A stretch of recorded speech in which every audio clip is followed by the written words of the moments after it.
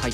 えー今回、えーテーマとさせていただいているのが、えー障害者の方や高齢者の方など災害時に助けが必要な、えー要配慮者や、えー旅先や勤務先、えー稲山に旅旅行しに見えた方だったりとかの、えーそういった場所で被災してしまって帰宅手段をなくしてしまう帰宅困難者またペットの飼い主などさまざまな立場の方の避難について考えてもらう契機にしたいと考えています。なるほど。会場にもさまざまな啓発ブースを設けさせてもらって、えー参加者に体験していってもらいたいと思います。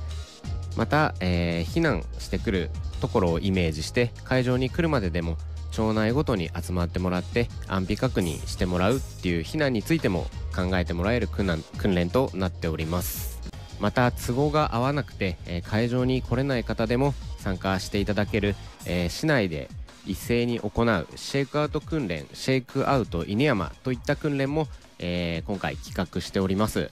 なかなか聞きなじみのない単語が飛び出しました。シェイクアウト訓練というのは一体どのようなものなんでしょうか？はい、えーこちら地震が発生した時の動きというのを実際に体で覚えてもらうためのうん訓練になります、えーこちらの合図に合わせて、えー姿勢を低く頭を守りじっとするといった、えー自分を守るための3つの行動を行う訓練となっております。えー今回の訓練では、えー当日、えー6月16日の10時半に犬山市全域で消防のサイレンが鳴るように設定してありますのでその音を合図にシェイクアウト訓練開始の予定となっております。場所は、えー先ほども申し上げましたが会場に限らず市内の各事業所や公共施設でも行ってもらえるように案内しておりますのでこのサイレン音聞こえましたら会社や家庭で皆さんもぜひ実践していただきたいです。実はもう一個、えー興味を引くようなものを準備してるんですけれども、えーこちら備蓄用品見てもらうブースの中で、えー市に実際でこちらも備蓄させてもらってる栄養缶という、えー食べ物の試食も準備しております、皆さんも備蓄食と聞くとあの乾パンのあーパサパサしたよそうですねあはいまり美味しいような、はいうんイメージがないと思うんですけれども、えー最近のものは非常に美味しいものが多くてですね、うんうんえー実は今日その栄養缶の実物を持ってきましたのではい。武井さんの方にちょっと食レポを